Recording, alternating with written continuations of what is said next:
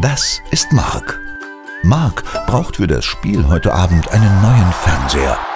Am schnellsten geht das per Bestellung im Onlineshop seines Händlers vor Ort. Aber gleich den vollen Preis bar bezahlen? Mark möchte das Gerät lieber finanzieren.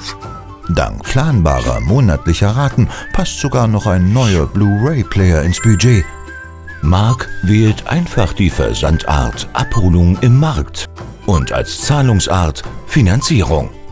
Er füllt den kurzen Finanzierungsantrag der Commerzfinanz aus und erhält sofort die Online-Kreditentscheidung.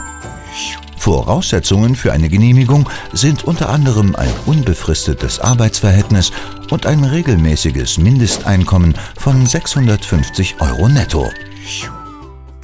Nach dem Online-Kauf geht Mark sofort in den Markt und schon kurz darauf ist Anpfiff. Commerzfinanz. Sofort Guthaben.